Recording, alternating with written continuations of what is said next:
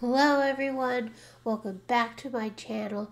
I'm still sick. I think I'm slightly worse. That's okay. We're going to look at more stories on TikTok, ghost stories that is. So get ready, because here it comes.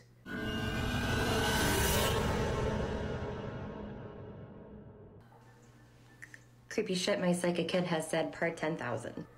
He asks me, Mom, are ghosts real? I said, Yeah, well, I mean, kind of. Mom talks to spirits all the time, right? He says, Yeah, but I don't think they're real. I've never seen one. Well, except for that other night, do you remember when I climbed over you and Jameson and I got in the middle because I was really scared?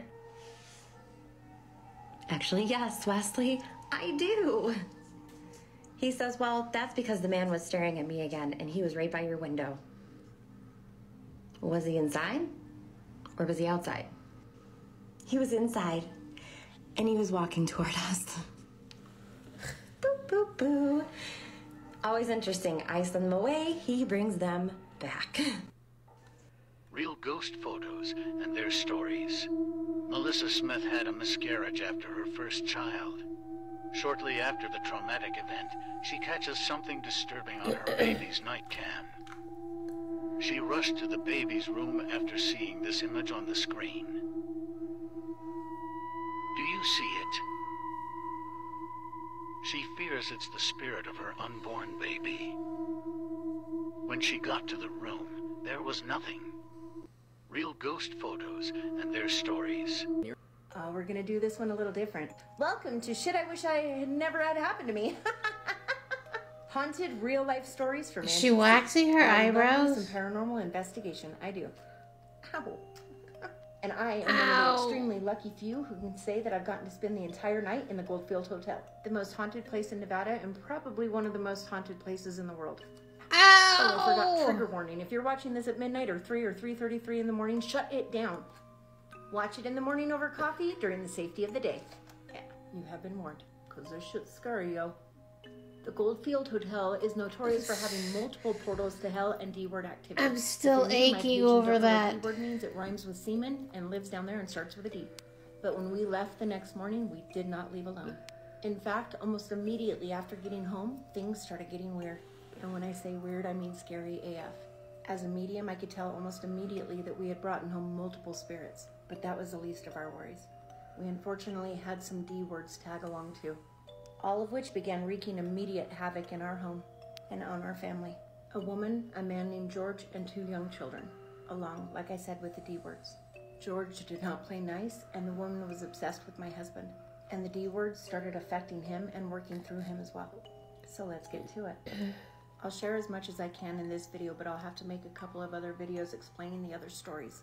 I've never been able to figure out what my spirit animal is, and that will tie in later. I'll explain. I will share the three experiences that all tie together. One night I was awoken from my sleep to the sound of my husband screaming. It sounded like this. I shot right up out of bed. But shooting up out of bed, that's all I did. I just sat there.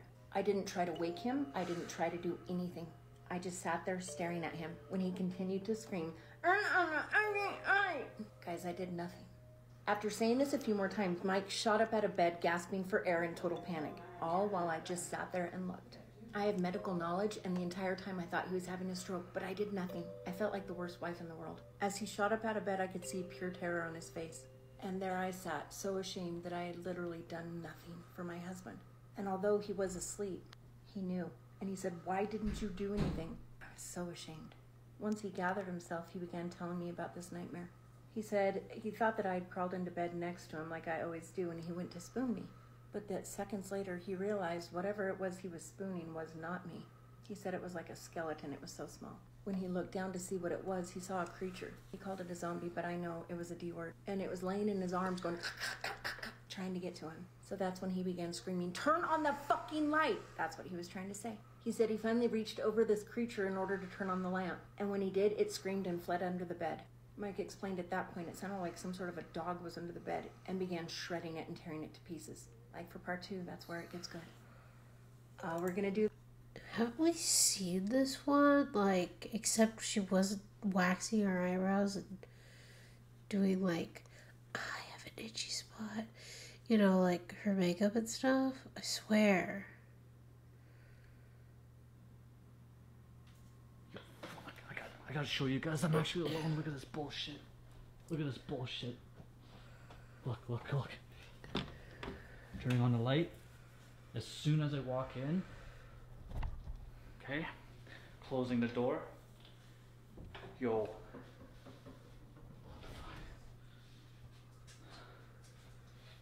Yo, I'm telling you, anytime I walk in, there's like literally nobody. Nobody. This has been going on for like a couple days now, dude. Look, watch. I'll turn on the light. Okay? Nobody. Nobody. Nobody. Nobody. Behind the door, nobody. Okay? Going through this freaking door, which is really scary in here. Nobody, nobody, nobody, nobody, nobody, nobody. Guys, tell me what the fuck is going on. This is a documentation of me and Chloe, in case we die. Yep. Because um, we watched this video on TikTok about how Lucifer has come to Earth three times. One in the wildfires in Australia, one on the day Corona started, and one on 9/11. Saw his face in the smoke and in the fire.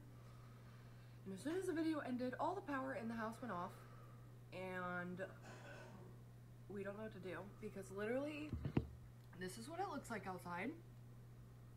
Ren, if you are here, make yourself known. We welcome you. Oh,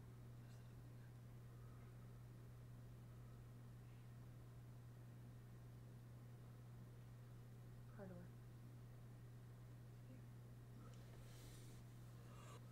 This is a documentation Okay.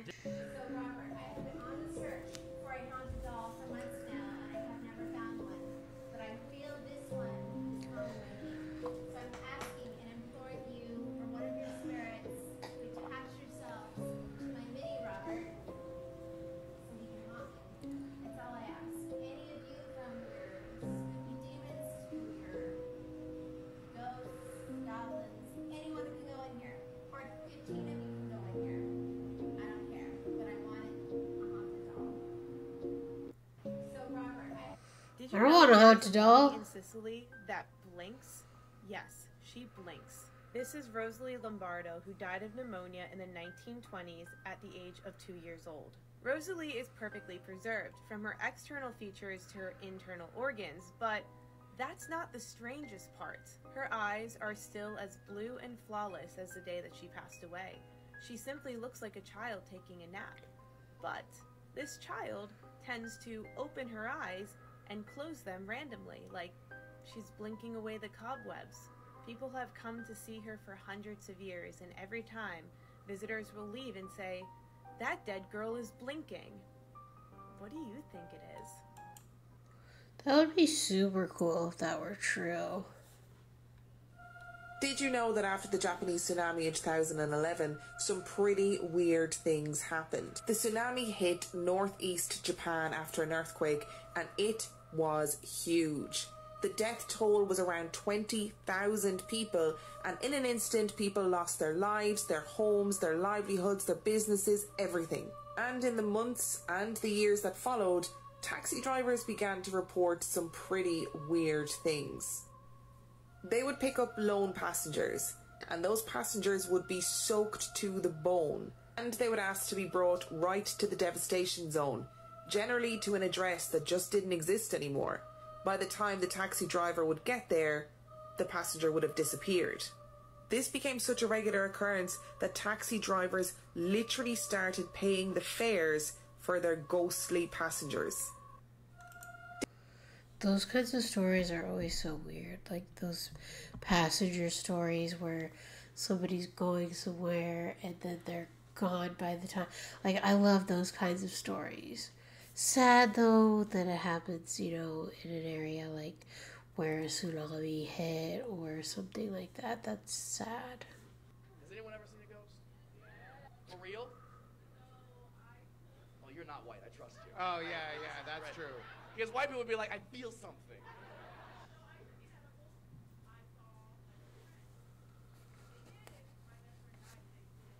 The day before? you did an edible the next day? I know, but what did she say to you? She didn't say shit. I was my edible. Bitch, you hung up on the spirit realm? You was like, wait. Nope. Nope. Wrong number. oh my god. Wow, you ghosted your ghost.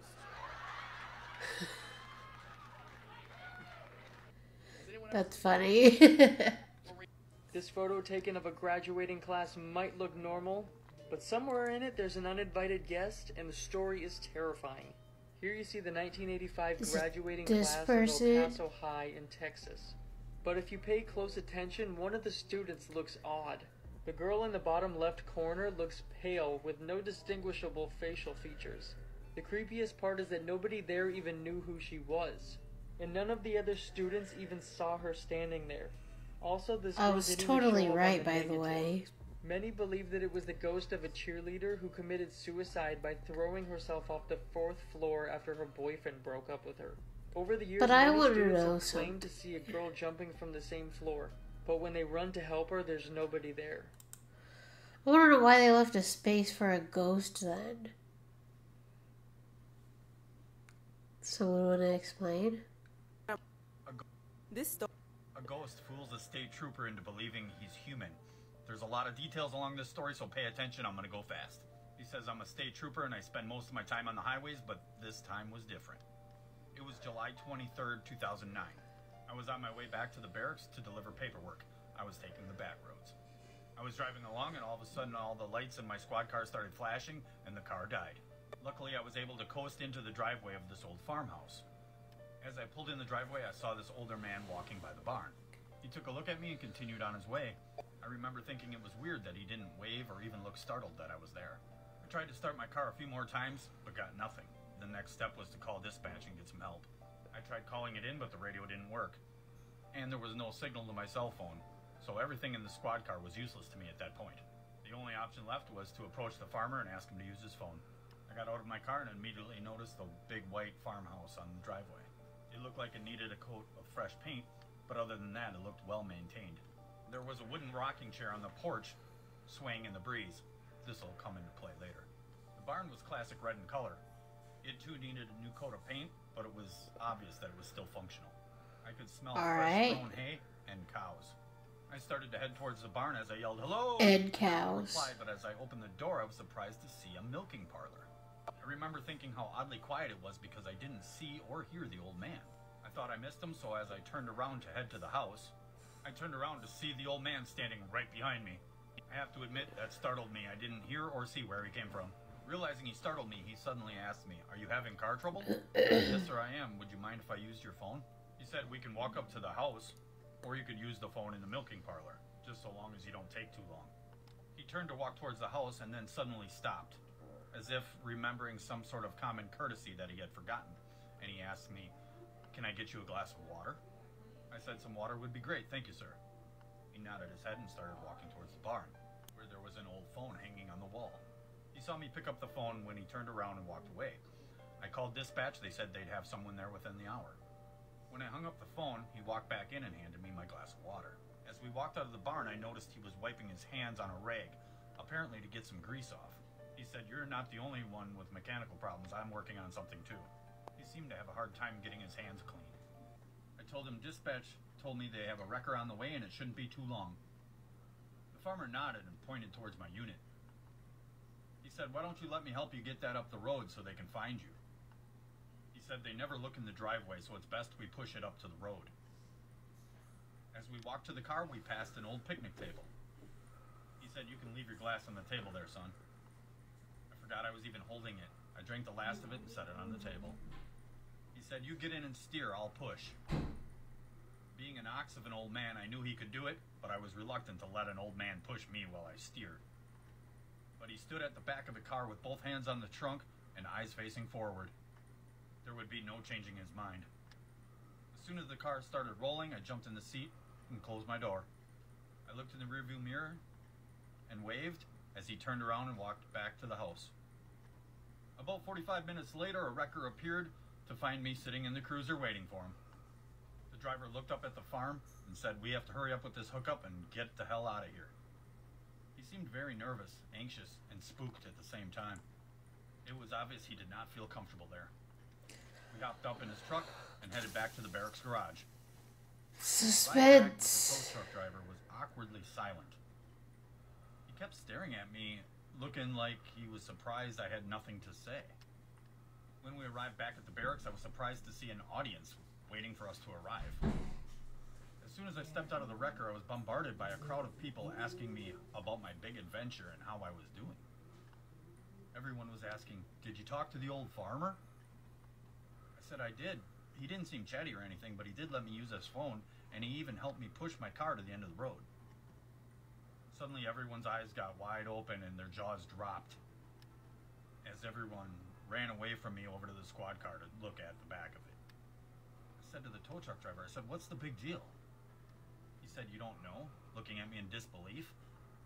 No, obviously I don't. What's up? You see, as a state trooper, I knew the streets, but I didn't know the people or the history. He said back in the 70s, a farmer shot himself in that milking parlor in the barn. And that a few families tried to start up the milking parlor, but it didn't last. He told me no one has lived there since the 80s, and it's haunted. I could feel the blood rush from my face. A seasoned officer told me to hop back in the car and let's go for a ride back out there. I told him everything that had happened, but as we pulled up, I noticed things were different. Tree branches had overgrown into the driveway, even scraping on the squad car. That was new. Shutters were falling off, there was no paint left on the barn, and that rocker on the porch was completely busted and rotted. We got out of the cruiser and walked up to the barn. I glanced over at the table under what was now a dying shade tree and pointed out the glass of water that I just left there a little while ago. As we walked into the barn, there was something else that was brand new. A thick layer of dust had blanketed everything in there. I burst through the door and went So straight for the phone. spooky. It too was covered in dust, but my fresh fingerprints were on it. I picked it up by the receiver and was shocked that there was no dial tone. That shook me to my core. I put it back on the hook and said, Yeah, we can go now. Turns out this cop was a paranormal investigator on the side, and he was like a kid in a candy store. He had so many questions and he wanted to do a lot more looking. But he realized how shook I was and we went back to the barracks. When we arrived back there, curiosity got the best of me and I had to go check out the back of the car. Both walked over to it and noticed two greasy handprints on the trunk of the squad car, exactly where someone would put their hands to push it. That was several years ago now and I don't work that area anymore, but I've driven back to that old farmhouse many times. It has since fell victim to arson and is now burned to the ground. But just being on that land again gives me the creeps. I'll never forget that experience. Farewell, old man. That was a good story. It was a little long, but it was a good one. So in Egypt, um, there's something called an adaha. An adaha is ba- do you want to explain? It's like it's like a I don't know if it's a myth or if it's real, but like a lot of It's people real. say It's real. that they hear her calling their names from somebody else who they love's voice. So like let's say she like Mariam could hear me calling her name through her. So it wouldn't really be me, it'd be her calling Mariam. and she would basically make you like walk all around until she like makes you walk off a cliff because you're like trying to search this person's voice. Or she makes you like go into the ocean and you drown. Basically like like you just hear somebody that you love's a voice uh, like a relative or something. Anyways so me and my brother we were in my aunt's house and we were going to sleep over right? And suddenly like we're we're playing cards outside and suddenly we hear we hear my cousin's voice and he's like ahmed mariam like can you come help me real quick? I really need help. And i got chills all around my body. And my brother's like oh like muhammad's calling for us. I was like "Mm, no. And like i poke my head out the window and i don't see anything. I'm like i immediately start reading quran. I'm like please make this thing go away. And and like she keeps on yelling for us. And i'm like ahmed like please and he opens the door and he starts walking outside i'm like what are you doing?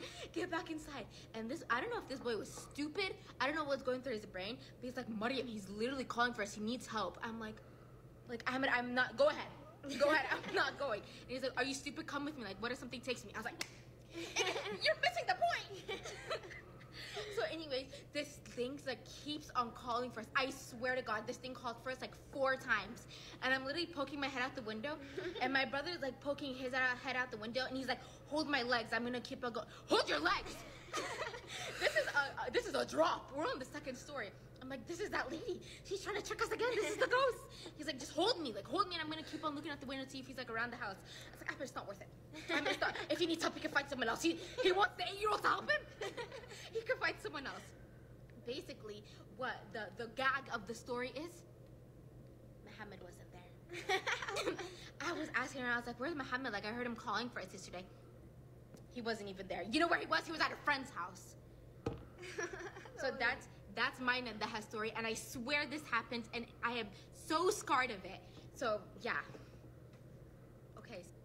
My wife and I lived on a county road between Salem, Missouri, and Rolla, Missouri. We got up to go to work. It was a spring day, and it was still dark when we left for work. And I pulled out of the driveway and got up at the top of the hill, and the road kind of turned. And as soon as we made that little turn in the road, the headlights hit this it had to have been a Bigfoot because it was standing right in the middle of the road and it really looked shocked that somebody had caught it. And it, it was windy and you could see that the hair was like blowing because it had pretty long hair. By the time we got there, it had turned and stepped across a ditch and then stepped across a barbed wire fence. But from where we were at, I would have judged it to have been taller than my truck, and I had a four wheel drive truck and had a lift kit on it, so it was it was pretty high. So I would have guessed it probably have been eight foot, nine foot tall. But it, it was it was big. It was massive, and uh, I'm just I'm glad that both of us saw it. I never did go out deer hunting after that for probably three or four years till I mean like the sun was way up in the sky. It it was huge. My wife. Bigfoot. Proof. Proof right there to believe. Alright, I think that's it for this video. I don't feel good. I want to do more videos and I want to do some other stuff I have to do today. Also, my cat's in the background telling me that it's like time for food or something, so I gotta get go in and take care of my fat cat. So, anyway, thank you guys so much for watching. Thank you for subscribing if you already have. Don't forget to subscribe if you haven't. And I'll see you in the next video. Bye.